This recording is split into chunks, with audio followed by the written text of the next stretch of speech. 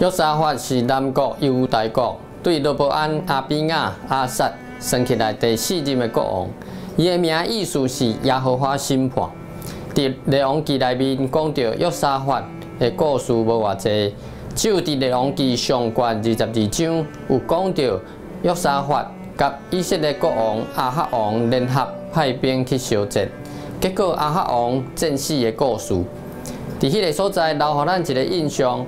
就是伫约沙法做国王的时期，犹大甲以色列南北两国，因为约沙法甲阿哈两个国王的关系，来保持有真短暂的和平。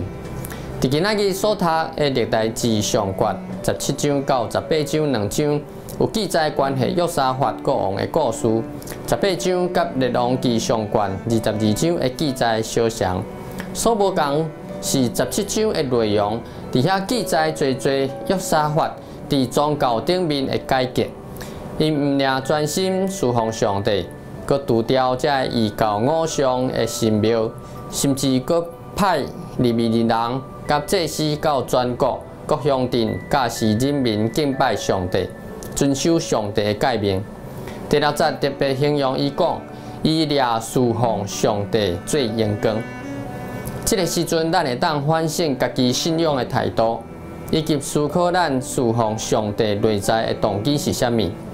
有人遵循上帝话，是因为惊上帝来得罪、来得罪，托上帝来处罚；有人来教会，是因为真侪习惯，或者是为着其他人的关系来；有人来教会敬拜上帝，是因为希望会当得到上帝的祝福。当然，这个拢会用哩。也无虾米大的毋对，总是就是小可无啥对中上帝的心意。